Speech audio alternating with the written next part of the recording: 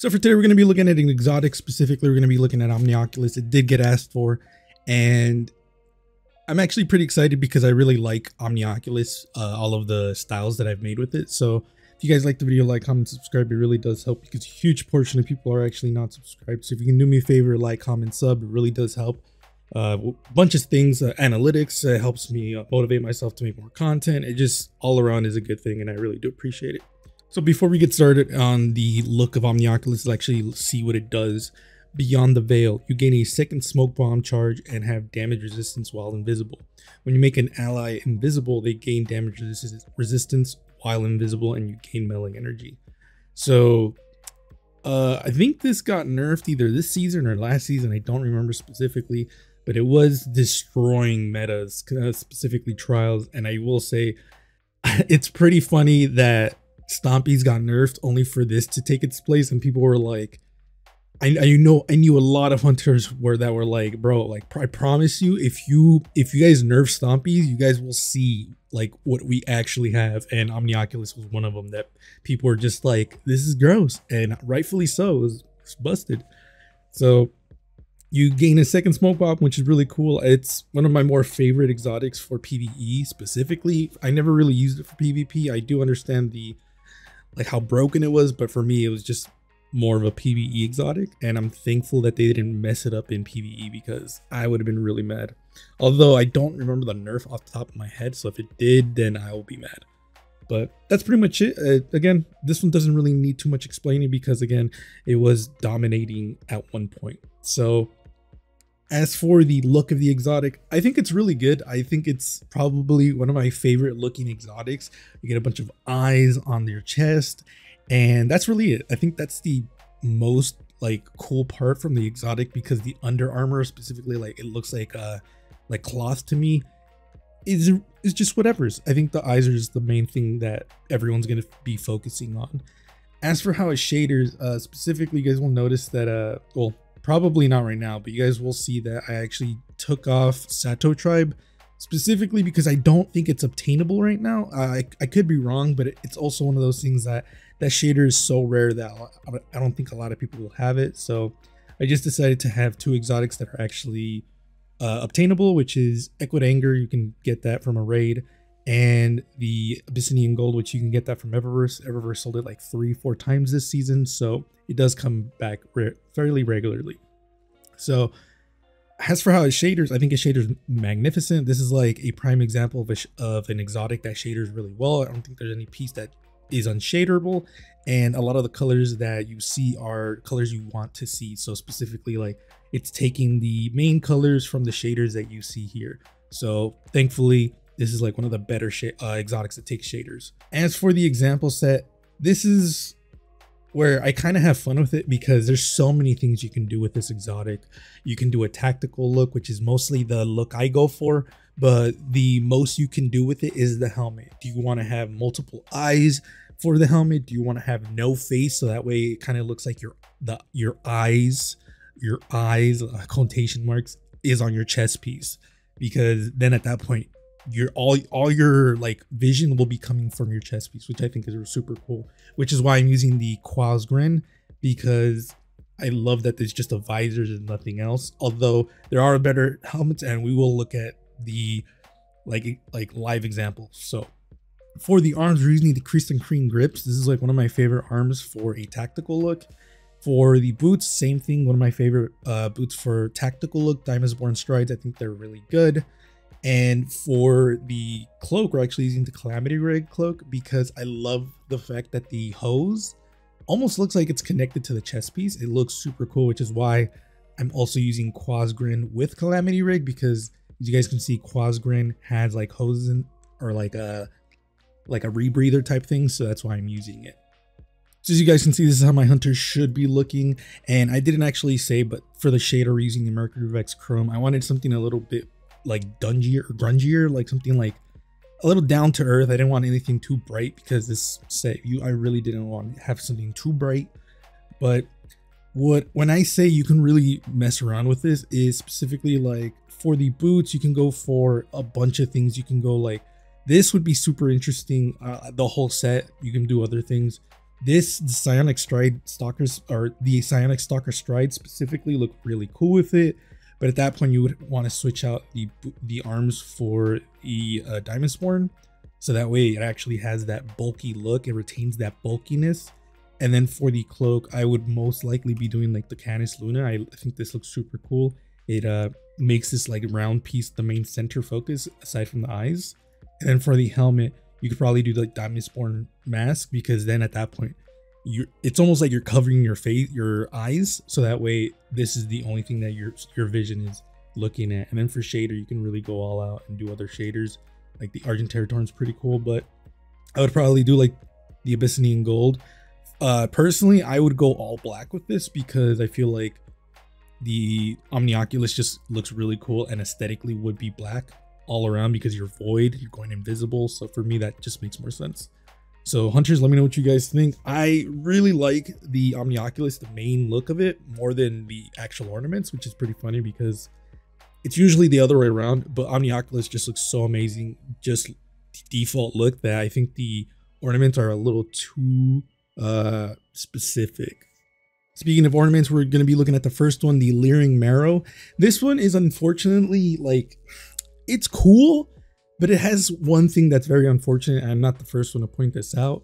Uh, the like belly has a belly button and it kind of bugs me. It really actually does bug me a little because it just, it pulls me out unfortunately because i think the i think the chest piece looks like menacing as fuck almost like uh like a xenomorph from alien isolation which is funny because i've seen people use this chest piece for a xenomorph uh cosplay which is completely cool it's just the belly button really messes it up for me uh other than that i think it looks super cool like legitimately probably one of the more cooler sets because you can do a lot of things with this one as for how shaders again it shaders really well. There's not a lot of pieces where I'm like, that looks really bad. Like Echoed Anger looks amazing with it.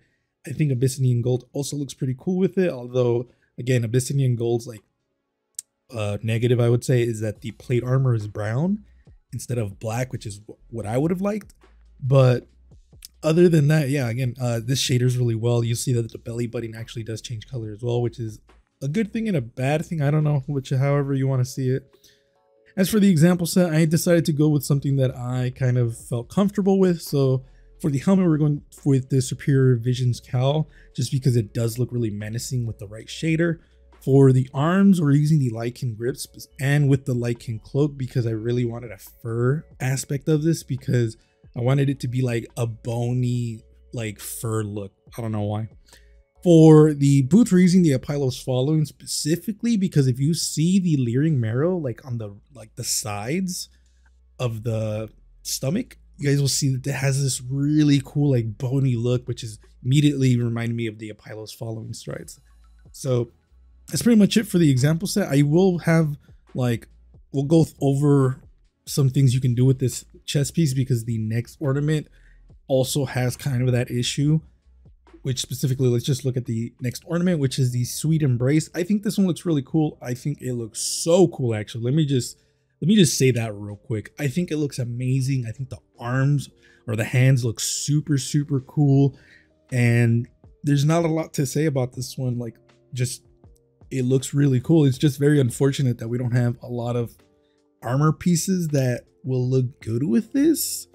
As for how it shaders, uh, the only unfortunate part is that the hands actually take the off color of plate armors. So as you guys can see from Echoed Anger, Echoed Anger has uh, like a blue steel. And it's kind of unfortunate because I would have liked uh, the hands to take the like the primary color, but it's not that big a deal to be quite honest. Like I'll work around it somehow. Uh, from Abyssinian Gold, you can also see it actually goes black, which is super cool. So if you are interested, you can definitely use that. As for the example set, this is where I kind of had a little fun with it because I am using pieces that I almost regularly never use. So for the helmet, we're using the King's Fall helmet. I think it looks really cool with the set, specifically with the, with the steeplechase cloak. I love how the top actually like connects with each other, which is super cool. The arms are using the Apollo's falling grasps, which is weird because again, that's that's a piece I like rarely use. And then for the boots, we're using the uh, the pirate set from this season, and I actually think it looks really cool. I didn't want to go with anything too organic, which is why the Apollo's following is the only piece that's really organic. I mean, the helmet is as well, but not as much as the Apollo's following personally. And the only reason I'm using the Apollo's following is because I wanted some symmetrical uh, arms, which is why I'm using it. So overall, I really do like this one. I think this might be my more favorite set from the ornaments, just because this one has a little bit more happening. The not saying the other one, the Marrow one, is bad. It's just the belly button really bugs me. As you guys can see, this is how my hunter should be looking.